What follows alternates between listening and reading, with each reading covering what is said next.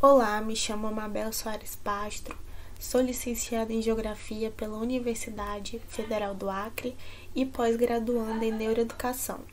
Este trabalho ele foi desenvolvido em parceria com a minha orientadora, profa mestre Júlia Lobato Pinto de Moura, e o título é Estágio no contexto da pandemia Covid-19 as dificuldades de professores em formação no ensino remoto e no ensino presencial.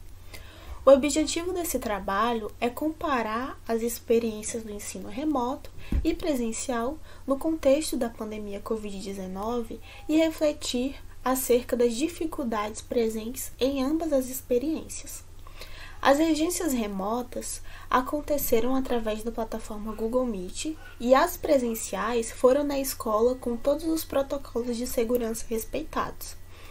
A elaboração e planejamento de ambas as aulas se deram através de pesquisas em fontes documentais, como os planos de curso da escola, em referências bibliográficas do campo da, da educação sugeridas pela orientadora como Paulo Freire, Pimenta e Lima, e outros autores que abordam sobre a atuação docente e nas escolas presenciais foram utilizado o livro didático Araribá Mais, Geografia.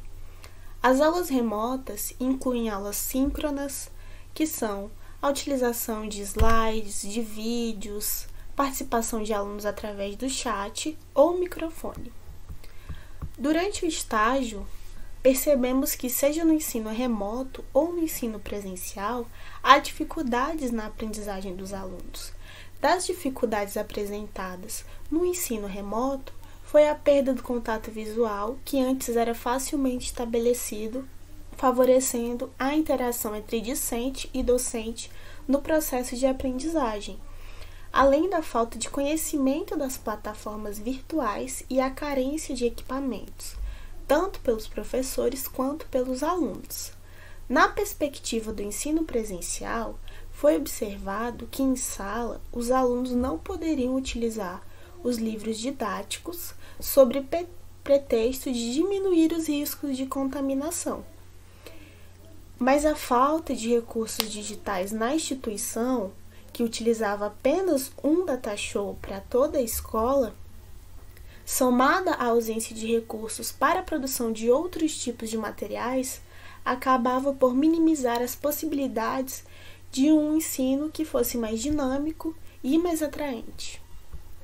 O estágio supervisionado em Geografia no Ensino Fundamental 2, realizado de forma remota e presencial, permitiu com que nós pudéssemos conhecer os diferentes desafios enfrentados pelos professores durante a pandemia.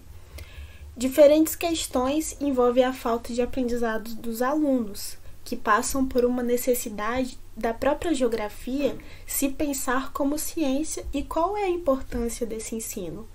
Até a maneira como os investimentos feitos pelo Estado na educação são aplicados em materiais digitais ou em inovação e até mesmo na formação continuada e valorização dos professores.